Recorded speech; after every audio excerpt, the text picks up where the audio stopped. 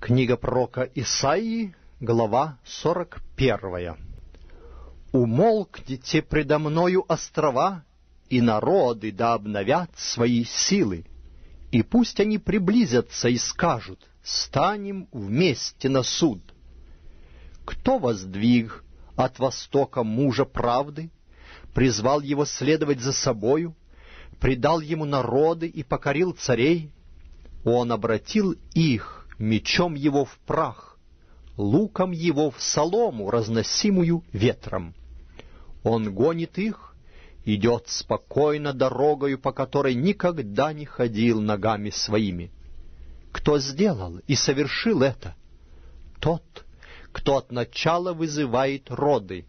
Я, Господь, первый, и в последних я тот же. Увидели острова, и ужаснулись, концы земли затрепетали, они сблизились и сошлись. Каждый помогает своему товарищу и говорит своему брату «Крепись!» Кузнец ободряет плавильщика, разглаживающий листы молотом, кующего на наковальне, говоря о спайке «Хороша!» и укрепляет гвоздями, чтоб было твердо. А ты, Израиль, раб мой, Иаков, которого я избрал, семя Авраама, друга моего. Ты, которого я взял от концов земли и призвал от краев ее, и сказал тебе, ты мой раб, я избрал тебя и не отвергну тебя. Не бойся, ибо я с тобою. Не смущайся, ибо я Бог твой. Я укреплю тебя и помогу тебе, и поддержу тебя десницею правды моей.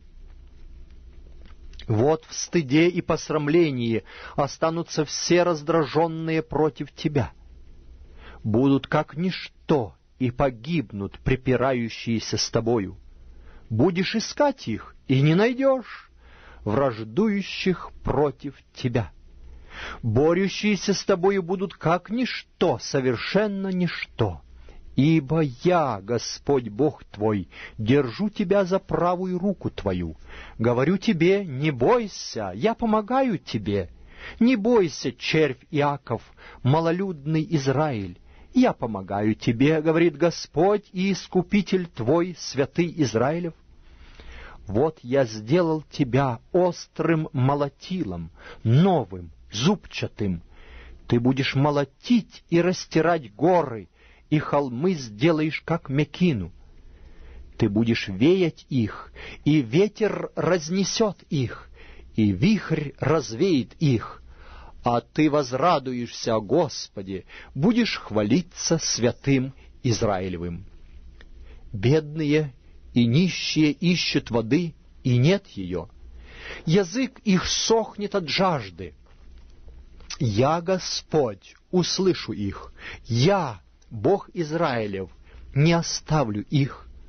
Открою на горах реки, и среди долин источники. Пустыню сделаю озером, и сухую землю источниками воды.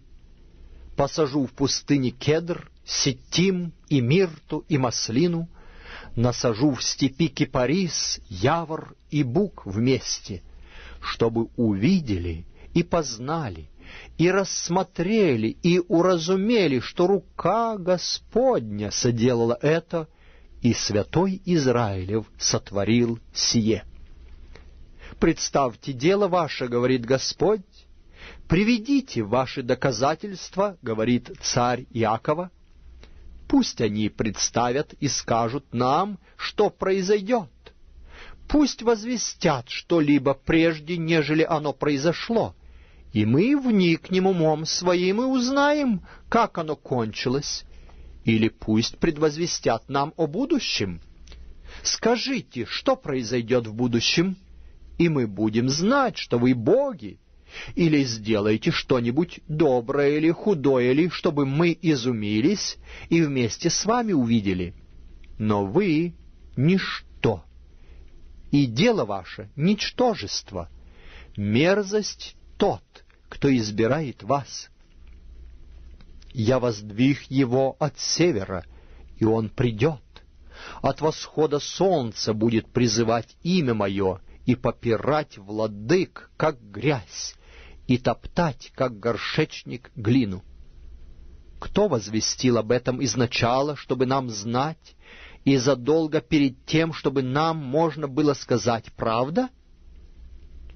Но никто не сказал, никто не возвестил, никто не слыхал слов ваших. Я первый сказал Сиону, вот оно, и дал Иерусалиму благовестника. Итак, я смотрел, и не было никого, и между ними не нашлось советника, чтобы я мог спросить их, и они дали ответ. Вот все они ничто, ничтожны и дела их, ветер и пустота, и стуканы их.